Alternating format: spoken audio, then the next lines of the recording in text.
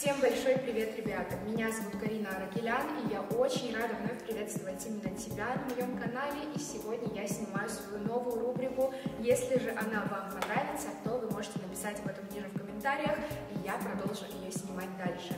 Сегодня я пригласила преподавателей из онлайн-школы «Импульс» для того, чтобы они подготовили для гостей определенные задания. И сегодня мы узнаем, кто все-таки у нас самый умный, а кто не особо разбирается в предметах, в биологии, в математике и в русском языке.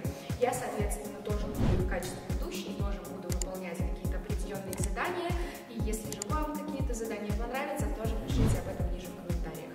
Сюне – преподаватель по биологии, Диана – преподаватель по русскому языку и Арслан – математика. Ну что, я хочу вас пригласить уже к самим ученикам, которые будут у вас в этом видео, как э, ученики, правда? Посмотрим, кто как хорошо и насколько хорошо знает ваш предмет, поэтому мы можем начинать. Ребятки, теперь точно поехали.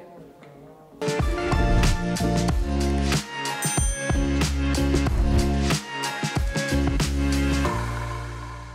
ну что, добро пожаловать в класс. Арина, Регина, Слава и Марк. Я буду постоянно Марк и Макс, я не знаю. Лучше, Макар. Ну и внимание, наш учитель сегодня по биологии из школы Импульс. Всем привет, ребята! Расскажите вообще, как у вас было в школе с биологией? Плохо?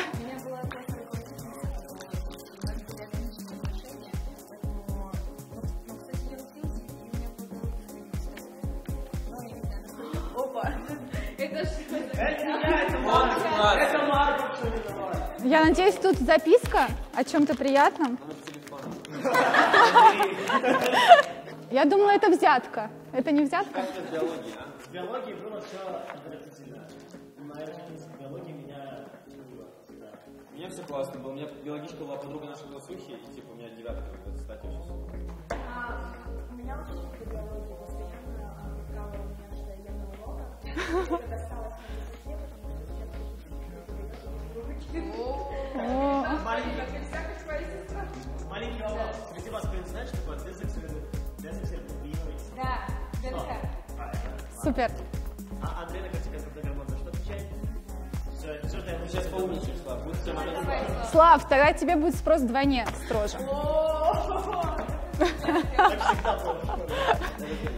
Ну, на самом деле вы не переживайте, вопросы элементарнейшие, ребят. Но если вы на них не знаете ответ, то все плохо.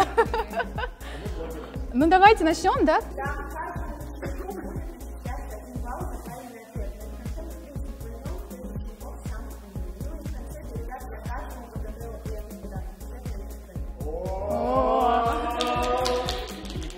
тоже? Нет. Понятно. школьные годы. То есть ты не захотела нас задобрить как-то, да? Ну, понятно. Окей. Ну что, первый вопрос, ребят. Вопрос интересный, но не самый простой. Вопрос такой. Для чего верблюду нужен горб? Нет. В смысле горб верблюда? А что это, физика? Теория происхождения. Нет. Я на Так, прям слово написать, да? Зачем? Ну, зачем, да, для чего?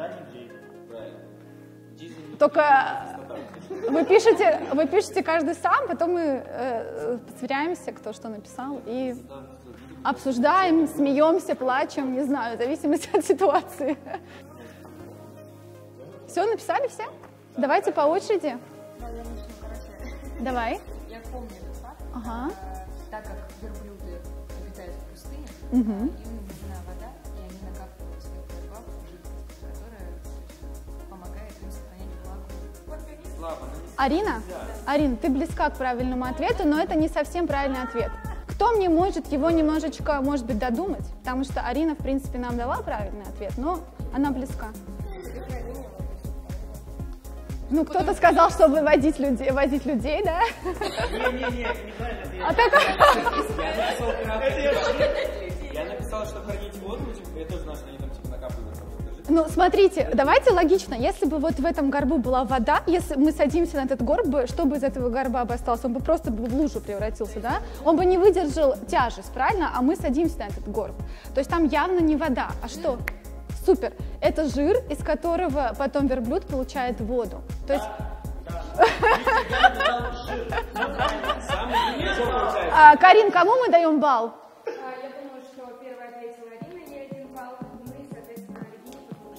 Регина додумала. А я тоже написал, я жир написал. Оценки ноль. Ну, написал в конце всех. Нет, я, Нет, это он... Нет, не ты, я прослала. неправда. Всем балл, кроме Славы. Вы к Да, как ты относишься? Вот так же в школе ко мне относились. Потому что ты вот так вот... э, Да, да. хорошо. Следующий вопрос. Что из себя представляет икра рыбы и для чего она нужна? Ну вот вы все кушаете икру, вы задумались вообще, что это такое? Да, да, да, да, да. Ну сейчас расскажете мне.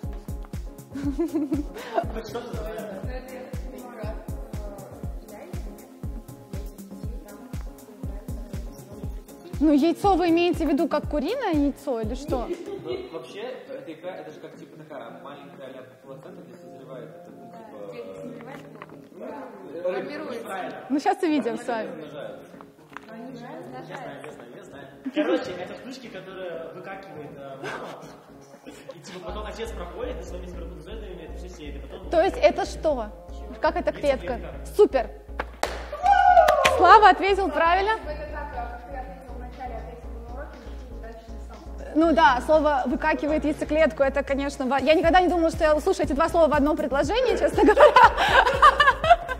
Окей, а а у остальных какие были ответы? Типа, Ну, это яйцеклетка, которую нужно оплодотворить. То есть, а что она делает? А, рыба. Кушаем, естественно, неоплодотворенные. Да, вы едите просто яйцеклетки рыбы по факту. Она их э, выкладывает в воду, ну, то есть, да, э, на камешек, допустим, какой-то, да, в воде. Э, подходит э, самец рыбы, оплодотворяет, и уже из этих икринок потом э, вылупляются рыбки.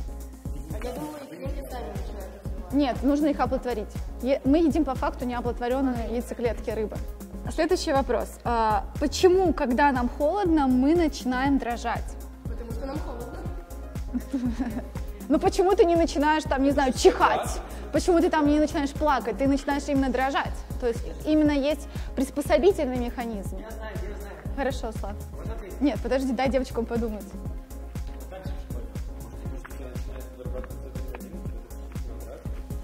При холоде. Нет, это при страхе. То есть при страхе, да, вырабатывается адреналин. Сокращение мышц. Можно. Ну, напишите каждый, как думает. Давайте, Слава был первый, дадим ему Короче, это защитная реакция организма на, на стресс от холода. И таким образом, когда ты дрожишь, он согревается. Каким образом согревается? Ну вот я вот сейчас дрожу, я как А вот... не было пояснения, а объясните, что каким образом. Почему, ну, нет, почему, когда... Я почему, потому что он согревается. Марк, да, скажи свой вариант. Потому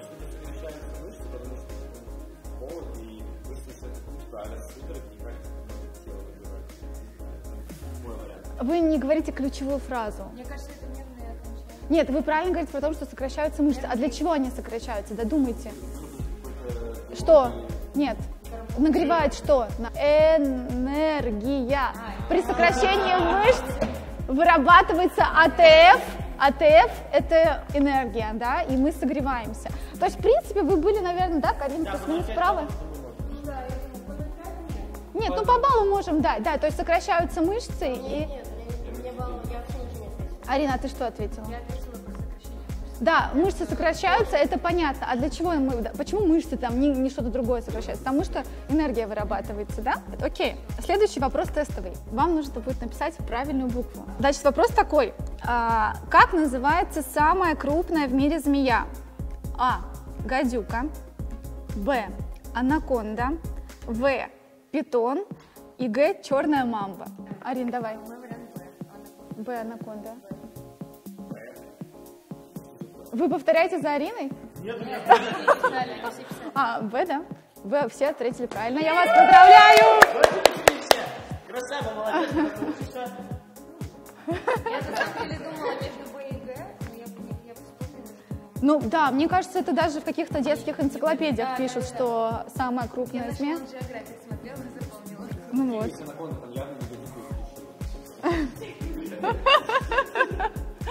Окей, следующий вопрос. э, Это вопрос по анатомии. На него можно логически догадаться, если вы не знаете. Включите логику. Как у вас с логикой? Нет, это математика. Где на нашем теле находится самая тонкая кожа? А. На мочке уха. Б. На веках. В. На губах. Г. В подмышках. Давай, Карин, с тебя начнем. Веки. Арина, ты? Б. Вы все так ответили? Покажите. Да, правильно, веки. Э, Значит, э, следующий вопрос. А какая птица подбрасывает свои яйца в чужие гнезда? Знаете? А, ну, вообще у меня варианты. Хотите, давайте без вариантов. Вы просто напишите. Давайте. А кукушка, Б аист, э, В ворона, Г журавль. Сейчас посмотрим, насколько изи катка. Арин, давай.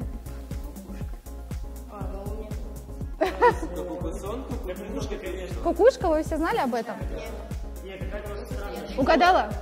Ну, тогда всем даем балл, да, Карин? Кукушка. Ну, вот у нее материнский инстинкт вообще не развит. Она а, свои яйца подбрасывает в чужие гнезда. И вот эти кукушоныши потом растут у других птиц. Да. Она не, она, у нее нет вот этого «я ж мать». Хорошо, следующий вопрос. А, Для чего нам нужен кислород? Это открытый вопрос, вы должны на него сами ответить. Не для того, чтобы дышать. Нет, вы не дышите, вы дышите кислородом. Для чего? Почему нам так важен кислород, а не знаю, там, допустим, не хлор? Почему именно? Да, именно почему нам так важен кислород. Для чего нам нужен кислород? Так, вопрос заключается в, в конкретном химическом элементе. А, для- Или функция- кислород как бы Х- функции. его, Функция, да. функции. Функция, да. Сейчас, сейчас. Ну что-то впереди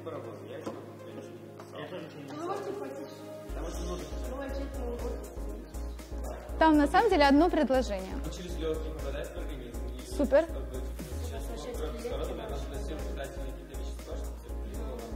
Кислород является неотъемлемой частью живых организмов, который способствует а, функциональности, работоспособности всего живого организма. Это общая фраза, я ее не могу засчитать. Это как говорить то, что, о, кислород нам очень важен. А что он нужен? Э, Конкретная функция у него есть. То есть ты говоришь общую фразу. Это, это из фразы типа, о, биология такой важный предмет. Это из этого серии. Типа типа? Нет, это тоже самая общая фраза.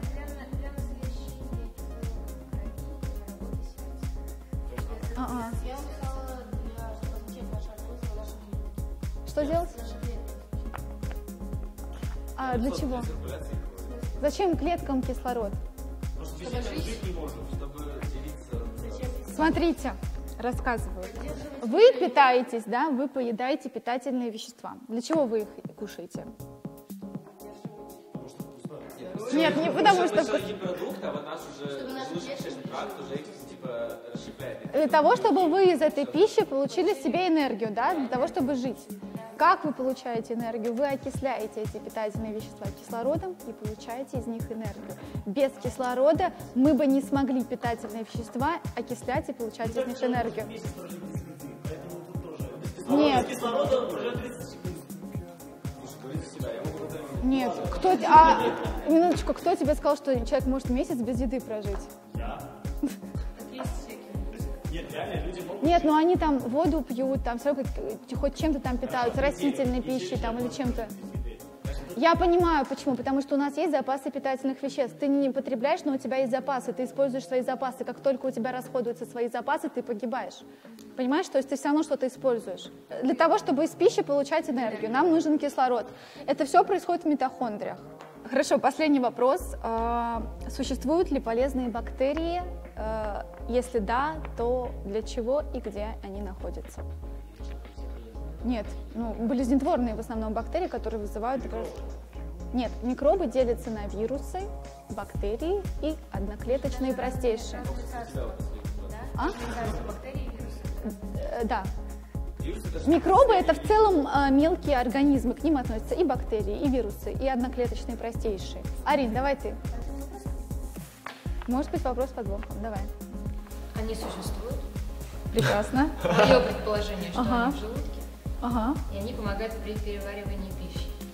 И я забыла, как они называются, по-моему, нач- начинается на Л, лакта какие-то. Ага, окей. Услышала. Я написала просто, что существует. А, Я я- Хорошо. Давай, Слав, твой звездный час настал.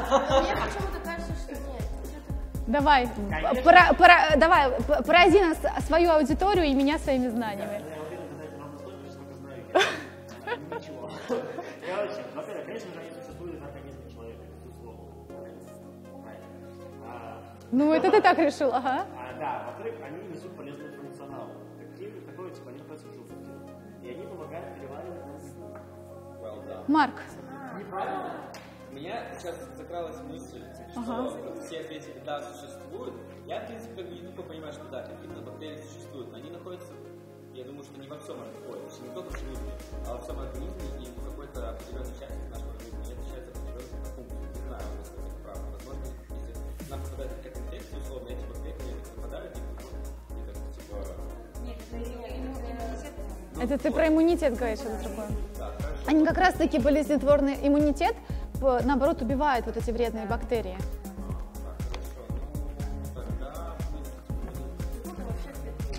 Э, Прикиньте, если вы все неправильно ответили, а Марк только правильно. Нет. На самом деле, да, они существуют. Э, Смотрите, а, они находятся по всему желудочно-кишечному тракту, но в основном они находятся в кишечнике, ребята, а не в желудке. Ты сказал желудок. Они находятся в кишечнике, и а, для чего они нам нужны? У них много разных функций, но одна из функций, они помогают нам расщеплять клетчатку. То есть э, клетчатка у нас содержится в растениях. Но, в принципе, вы были правы. Они, э, то есть, ну, плюс-минус... про-. Просто не в желудке. Они находятся в основном в кишечнике, где происходит очень маленькое количество. Конечно. Так, Славе сразу минус балл. Не то, что вообще балл, сразу минус. Сразу минус. Славе сразу минус. Слав, вот, наверное, никому не зачтем, да, Карина, или зачтем? Только, только первый пункт, то, что да, правильно, потому что вы угадали. Марк вообще не угадала. Я узнала, что есть лактобактерии, Ну, даже... Ну, я бы Арине тогда, да, дала 2 балла. Давай Арине дадим 2 балла, потому что она знает слово лактобактерия. Я знаю бактерии, я за вас ёбаю. Мне очень нравится ее макияж, поэтому. Карин, давай подведем итоги. Кто по итогу биологии у нас самый умный? Арина Данилова, победитель биологии. О, я вас поздравляю! Молодцы! на втором месте. На самом деле ты много чего знаешь, поэтому... Молодец, дай, дай. Только то, что, только то, что ты не знаешь, что желудок и кишечник это разные вещи, это боль печали.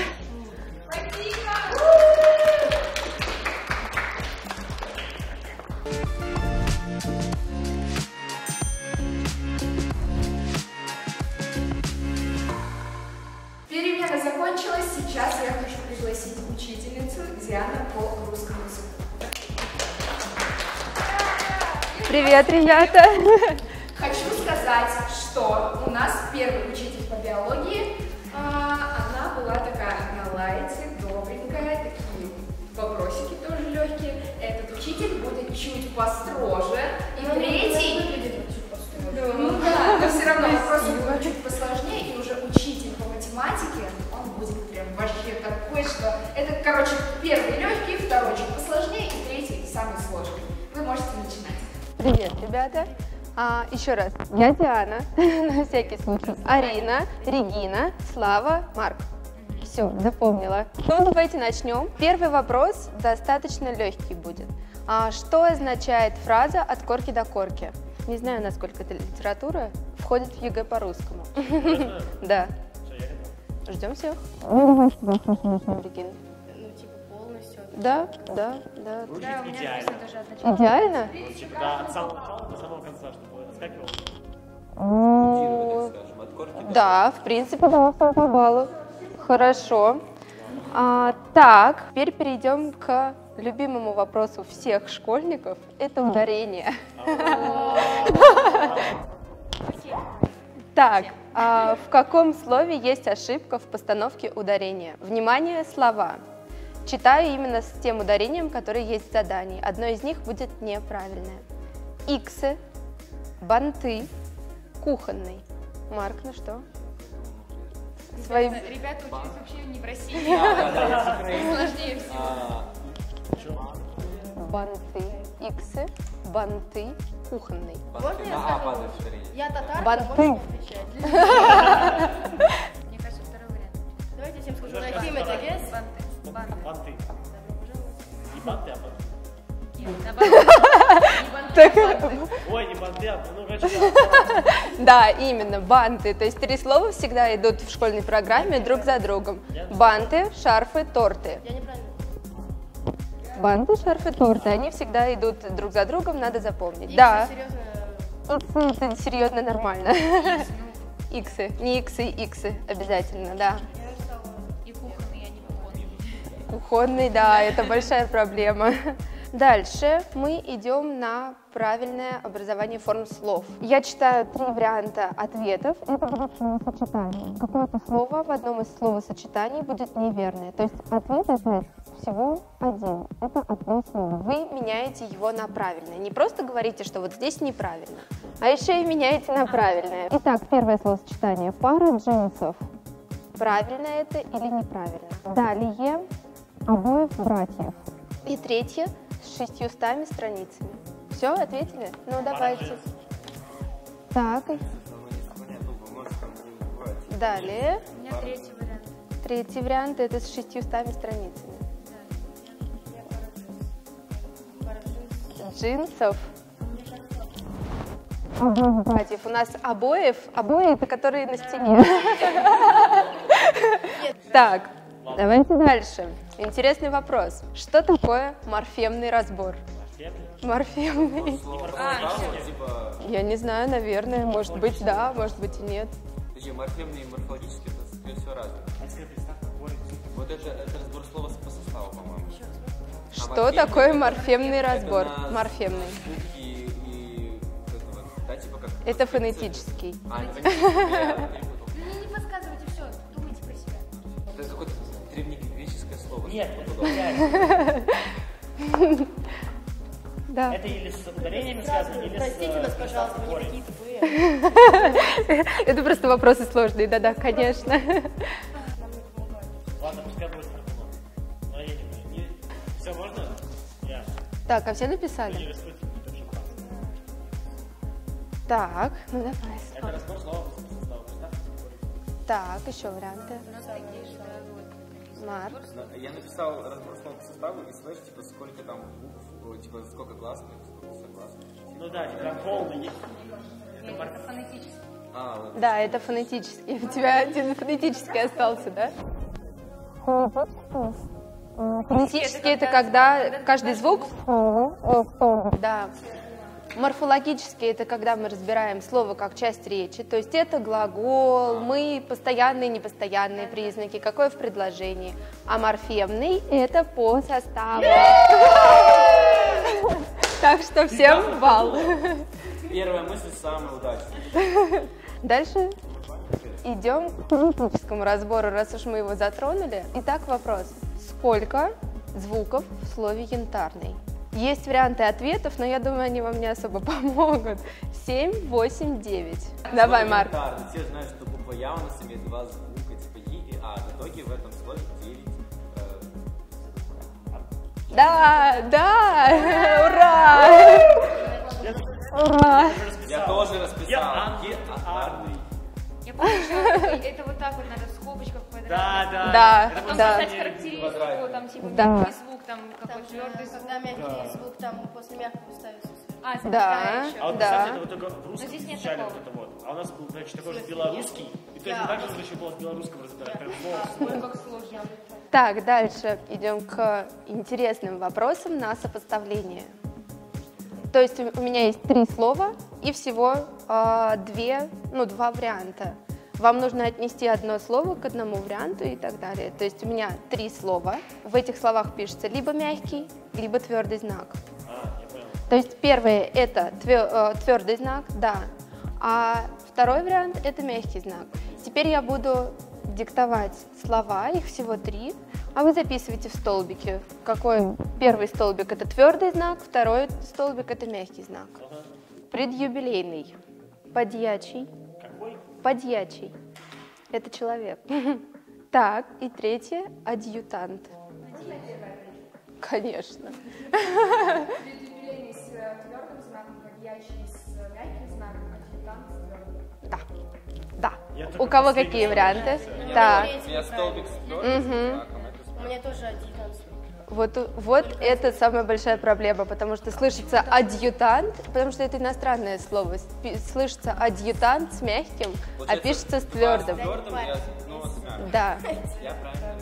А вы знаете, как правильно пишется слово абьюзер? Аб-юзер или абе-юзер? Опять Арбузик. А в, школе... а в школе тоже есть такое слово, да, преподают? Нет, Оно слишком не новое. знаю, да, оно слишком новое. учить. Хорошо, хорошо, я внесу в свои уроки. Готовы. обязательно с двумя, если с одной. По статистике, А- самое агрессивное отношение обычно э, сходится в отделы. Отделы. Всегда. Все, так, э, Да, да, конечно. Кто не согласен. Слава объем. Так, ребят, давайте дальше. Только Марк. Да, только Марк. Мгм. Вот так работает ЕГЭ, ребят. Вот так вот. Дается 15 слов, если вы хоть в одном ошиблись, все. Серьезно? Да, серьезно, реально. За одно задание один балл. Ну, давайте дальше. А, какой же русский язык без запятых? Ой, моя любимая. Обожаю, обожаю. Так, читаю предложение. Хотите записывайте, хотите просто где-нибудь. Себе пометьте, что там запятая. Да, можно.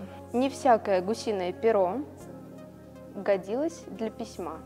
Из десяти выбиралось одно-два. одно, одно, наверное, там дефис. Да, да, ну это в принципе... Да, Ну, окей, допустим. все диапазоны пишутся через дефис. Да.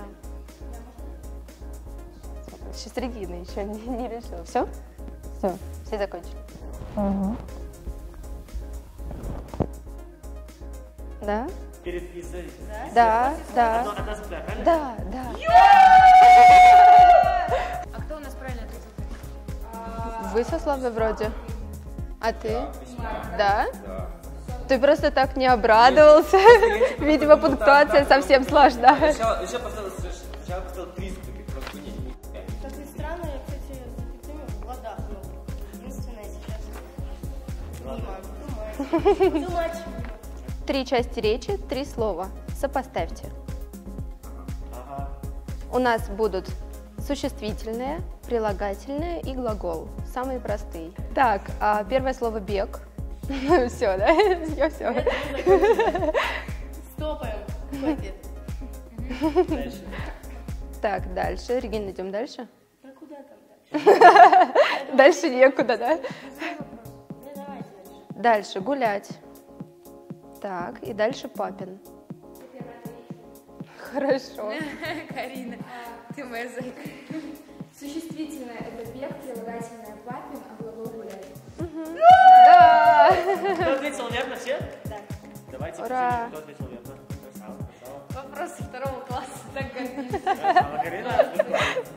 Ну все, у меня на этом все. Спасибо. Урок закончен. Спасибо вам за урок. А кто самый умный? Ой, не надо. Я могу, я могу.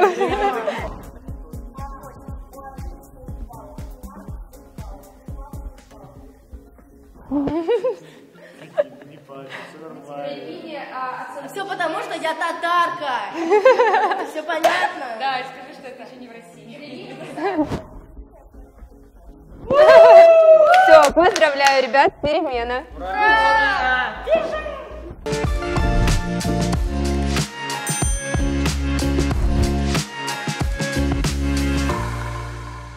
и сейчас не всеми любимый предмет – это математика. Я лично его практически совсем не знаю, но ОГЭ я сдала на оценку 3, признаюсь сразу.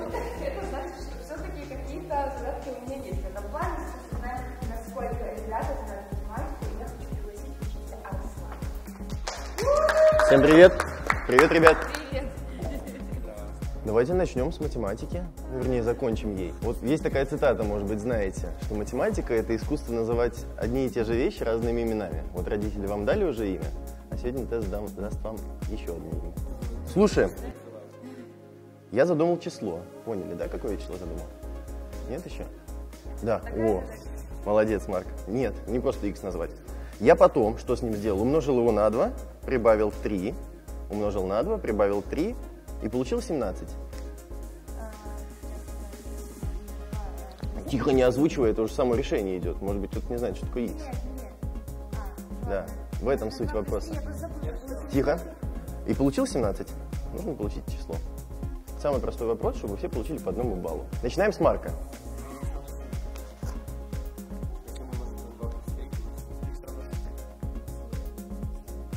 Да? Давайте посмотрим, я тут что ответ не знаю. Умножил на 2, прибавил 3, получил 17. 7. А у кого 6? Неправильно. Один раз на 2 нужно было помножать. Нет, я не говорил такого. Короче, всем по очку, всем по очку записывай, кроме Славы. Слушаем. Три землекопа, было три землекопа, вот знаете, полтора землекопа, тут их целое количество. Выкопали за два часа три ямы. И спрашивается, сколько целых ям 6 землекопов выруют за 5 часов. Давайте, через 5 секунд заканчиваем. Раз, два, три, четыре, пять. Слава, давай. Правильно. Марк. Арина.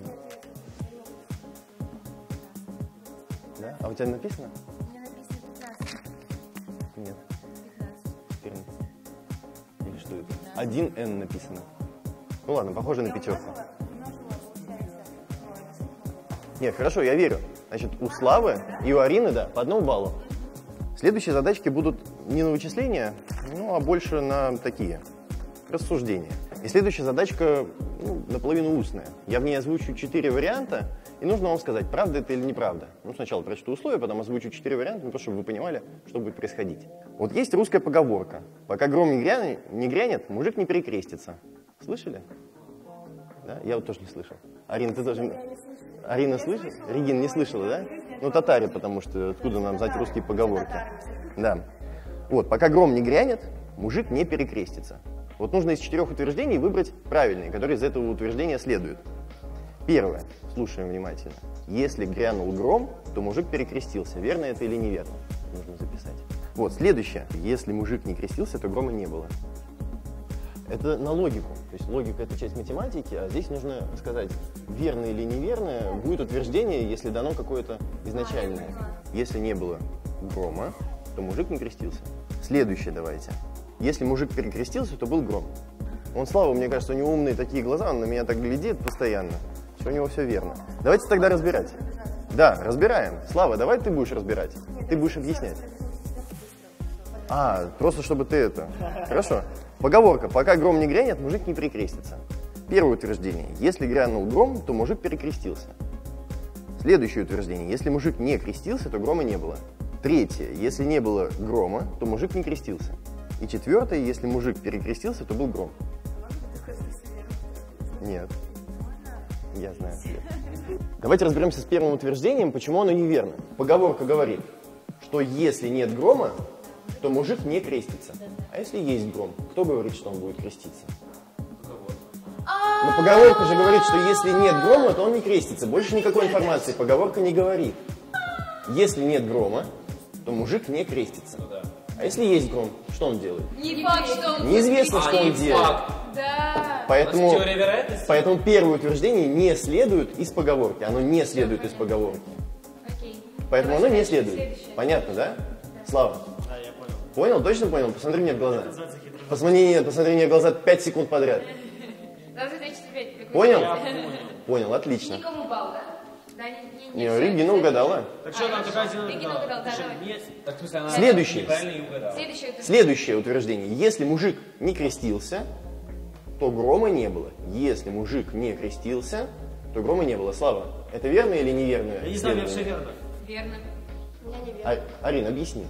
Ну, э, если грома не было, мужик не крестился, пока не грянет гром, мужик не перекрестится. Да.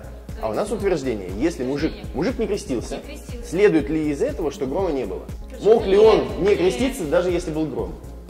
Так, ответ какой? Неверно? Не следует из поговорки. есть- Потому что мог быть гром, А, а мужик мог не креститься. Продолжаем. Регина опять угадала. Я второе тоже угадал. Сначала было да, Марк молодец. нет. Потому что все остальное да. Все, Марк тоже дал. На всяких тестах, если вы не знаете ответ, можно угадать. Да, я так, я так и сдавал. Правильно. Следующее утверждение. Следующее утверждение. Если не было грома, то мужик не крестился. Арин, следует или не следует из поговорки? Я написала, что нет. Я написала, что да. Регина, почему она следует? Не знаю, я уже А, написала. хорошо, Марк.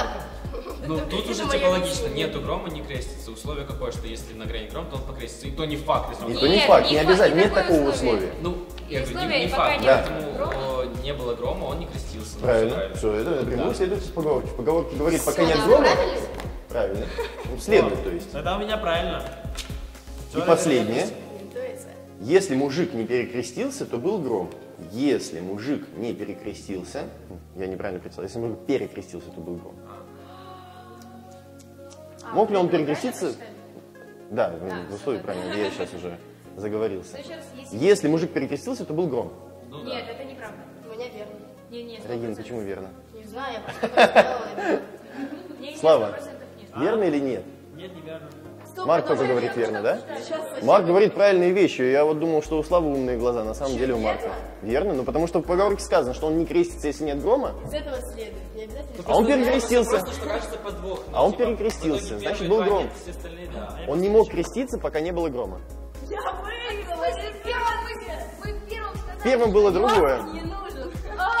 Первым было, что был гром. мы изначально обсудили, Да. э, что э, пока мужик не перекрестится, э, он- а, вернее, пока, не Пока нет гром, грома, мужик не перекрестится. Но если грянет гром, не факт, что он перекрестится. А тут сказано, что он перекрестился. Был ли гром? Ну, наверное, Был. А, Про это и четвертое. То есть, верно? Верно. У Арины один балл, у Регины сколько? Я все угадал. Нет, нет, нет, последний, последний у тебя. Ты поменяла. Нет, это было, это было еще до того написано, я помню. Хорошо. Она еще до этого. У Регины два Даже не получается. спросила раз. Да, да.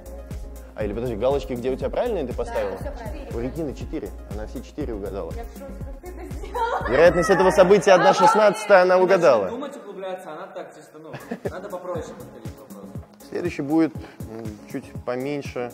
Нужно будет внимать. После того, как я прочитаю один раз условия. И вот условия нужно, в условия нужно вникнуть. В деревне есть курятник с тремя курами. У каждой куры есть имя. Уголек, рыжик и беленькая. Записываем, да? Что уголек, беленькая и рыжик. Они отличаются, соответственно, цветами, эти курицы. Одна белая, одна темная и одна рыжая. Цвета соответствуют именам. И у каждой курицы есть своя наседка. Ну, место, где она сидит, в курятнике. И там подписано их имя. Да? На каждой наседке написано имя соответствующей курицы. Они обычно там сидят. Вот они гуляли во дворе, гуляли-гуляли, и тут как раз нагрянул гром, мужик перекрестился и погнал всех кур в курятник. Они так мужика испугались, что сели не на свои места. Причем сели так, что ни одна курица на своем месте не оказалась. Вот нужно э, описать, на каком месте оказалась какая курица, если самая белая оказалась на месте самой темной, и ни одна курица не сидит на своем месте. Какая курица на каком месте сидит? Нет, здесь безо всяких вероятностей, без, А, ну это без подвоха, пожалуйста. без подвоха пока что. Беленькая оказалась на месте самой темной. Да, Слава, не подглядывай.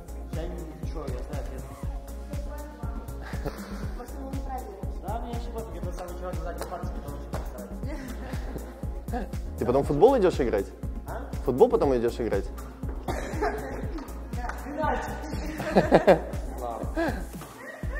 Да, или не могу с этих просто на каждой вечеринке Слава просто где-нибудь вот так. Ответ, Марк, с тебя начинаем. Ну, не знаю, но если на месте уголька... На месте уголька кто сидит? Беленькая. Правильно.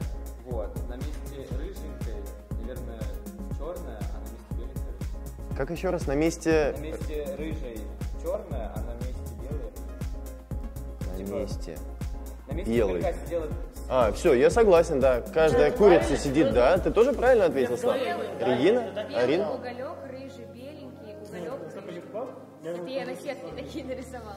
Вот, белый Уголек. рыжий, вот сверху я зачеркнула. Ага. Рыжий, беленький и уголек. Ну, всем по одному баллу, Карина. Записываешь? Правильно. Плюсики всем ставим. А вот следующие вопросы, вот вы просили вопросы без подвохов, а следующие вопросы будут как раз с подвохами. Здесь нужно написать ответ, ну и не стараться, стараться не давать подглядывать другим, потому что ответы на самом деле довольно простые. Всего будет пять вопросов, и они прям реально дебильные, можно сказать, вопросы. Ну да, пять вопросов и нужно будет, а? Не, не как с мужиком из грома. Но нужно слушать внимательно. Шел Кондрат в Ленинград, а навстречу 12 ребят. У каждого по три лукошка, в каждом лукошке кошка. У каждой кошки 12 котят. У каждого котенка в зубах по 4 мышонка. И задумался Кондрат. Сколько мышат и котят ребята несут в Ленинград? Карин, знаешь ответ? Нет? Нет. На самом деле вообще не Ленинград. Все? Давайте, Марк, ответ твой. Да. Ленинград это имя? Нет, город такой. Идут? Марк, Хорошо, так, давайте. В каждом кошке кошка, в каждой кошке 12 котят. Да. Соответственно, а, если у каждого котенка по 4 мышонка, Мгм. то это получается 48 мышонков наверное. в одном лукошке. Нет, нельзя уже все. Вопрос последний. Марк, ответ твой. Слава, давай с тебя начнем. 2160. Регин. Там надо было считать? Ну, ответ нужно было, да. Ну, ответ Я какой? не разобралась, я не помню вообще. Арина, у тебя какой ответ? 456 мышат и 114 Ну, Слушайте, Регина. Э, Давайте заново прочитаю один раз. И Регина скажет. Шел Кондрат в Ленинград, а навстречу 12 ребят. У каждого по три лукошка, в каждом лукошке кошка, у каждой кошки 12 котят. У каждого котенка в зубах по 4 мышонка. И вопрос, сколько мышат и котят ребята несут в Ленинград? А потому что а, они идут не в Ленинград. Они идут навстречу Кондрату, который А идет в Ленинград. Из Ленинграда, а Кондрат наоборот в Ленинград. Из Москвы в Петербург, слушаем, помчал на своей Тесле преподаватель Владислав. Навстречу в то же время, одновременно с ним, выехал из Москвы, э, наоборот, из Питера в Москву студент Рома. Из Москвы в Питер поехал на машине Владислав, а из Питера в Москву студент Рома. Одновременно они выехали из городов. На велосипеде. Да, ну, то есть скорость велосипеда меньше, чем скорость машины. Пока не достроили вот эту вот дорогу из Москвы в Питер, велосипедную, да, она меньше. Вопрос, кто из них в момент встречи, вот они пересеклись на дороге, кто из них в момент встречи был ближе к Москве? Сейчас вот думаем, 20 секунд, и говорим ответ. Давайте, начинаем с Арины.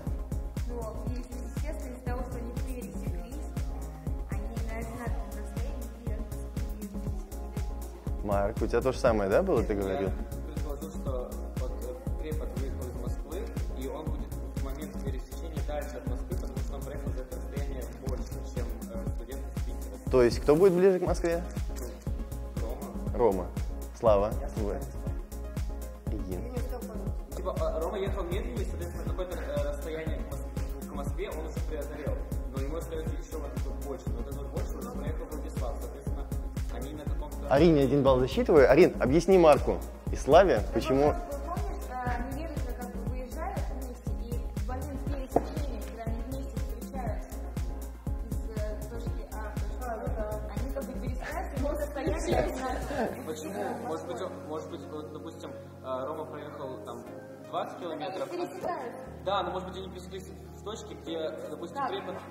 если они пересекаются, получается... Но он же они едет оба медленнее, он же едет на велике, соответственно, он произойдет Как они?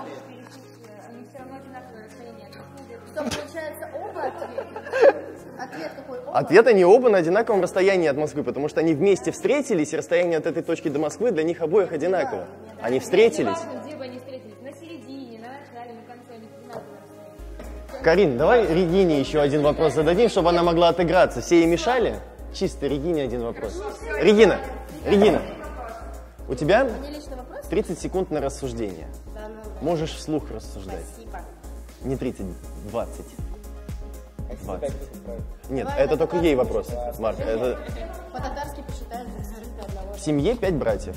У каждого брата есть ровно одна сестра.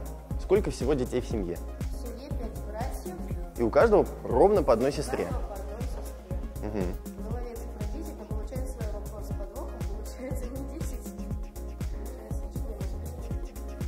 Слава. Да блин, ты что ты тикаешь тут как подумка? Слава, сколько детей в семье?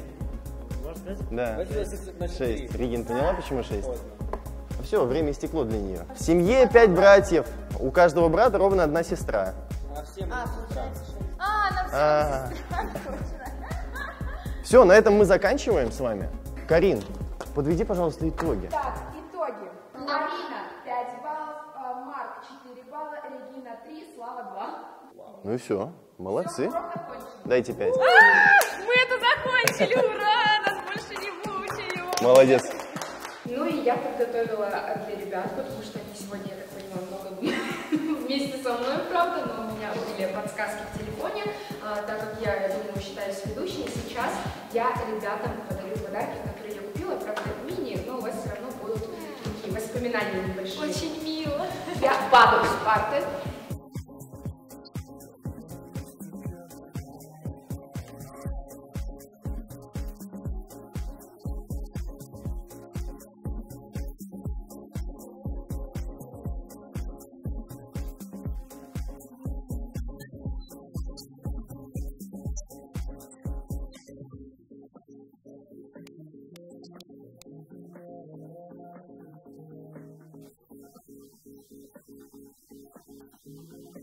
Ну